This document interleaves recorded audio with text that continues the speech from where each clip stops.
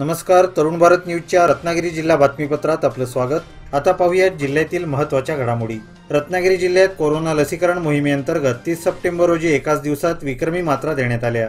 एकशे साठ विविध लसीकरण केंद्रांवर पहिला व दुसरा मिळून पस्तीस हजार नऊशे एकोणचाळीस जणांना डोस देण्याची कार्यवाही जिल्हा आरोग्य यंत्रणेमार्फत करण्यात आली. जिल्ह्यात कोरोनाचा प्रादुर्भाव कमी करण्यासाठी जिल्हा आरोग्य यंत्रणेमार्फत कोरोना लसीकरणावर भर दिला जात आहे. कोवॅक्सिन आणि कोविशिल्ड या दोन लसी नागरिकांसाठी उपलब्ध करून दिल्या जात आहेत. मंडणगड शहरात ई सेवा केंद्राच्या माध्यमातून सुरू असलेले आधार केंद्र गेले अनेक दिवस बंद असल्याने नागरिकांची गैरसोय होत असल्यामुळे प्रशासनाने हे आधार केंद्र तातडीने सुरू करावे. या मागणीसाठी शुक्रवारी शिवसेनेच्या वतीने येथील तहसीलदार कार्यालयासमोर एक दिवसाचे लाक्षणिक उपोषण करण्यात आले.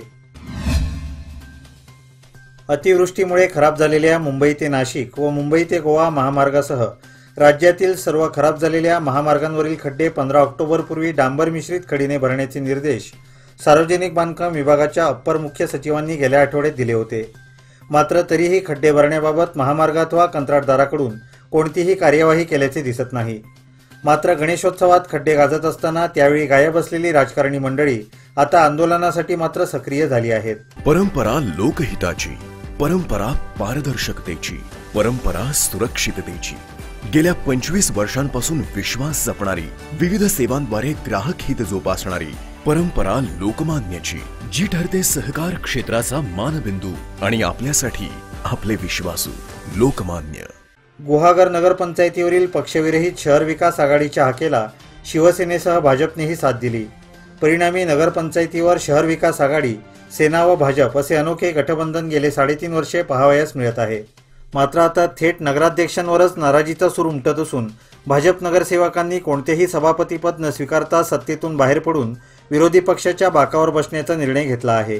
परिणामी नगरपंचायतीवरील अनोखे गटबंधन धोक्यात आल्याचे दिसून येत आहे. लोटे ते औरंगाबाद असा जाणारा आयशर ट्रक कुंभारली घाटातील दरीत कोसळून ट्रक चालकाचा मृत्यू झाल्याची घटना गुरुवारी घडली होती. या प्रकरणी मृत ट्रक चालकावर अलोरे शिरगाव पोलीस स्थानकात गुन्हा दाखल करण्यात आला आहे. सलमान महम्मद शेख वय एकोणपन्नास सध्या राहणार कावीळतळी चिपळूण असे गुन्हा दाखल झालेल्या मृत ट्रक चालकाचे नाव आहे. याबाबतची फिर्याद अमित बाळकृष्ण आमरे वय बेचाळीस राहणार शेल्डी यांनी दिली. शेख हा लोटे ते औरंगाबाद असा आयशर ट्रक घेऊन जात होता. यावेळी तो कुंभारली घाटातील एका अवघड वळणावर आला असता त्याचे नियंत्रण सुटल्याने हा ट्रक थेट दरीत कोसळला. याचबरोबर आजचे बातमीपत्र इथेच संपले. अधिक माहिती आणि ताज्या घडामोडींसाठी पाहत रहा Tarun Bharat news channel. Like करा सबस्क्राईब करा आणि शेअर करा. आणि विश्वासार्ह बातम्यांसाठी दररोज सकाळी वाचा दैनिक तरुण भारत. धन्यवाद. शुभरात्री.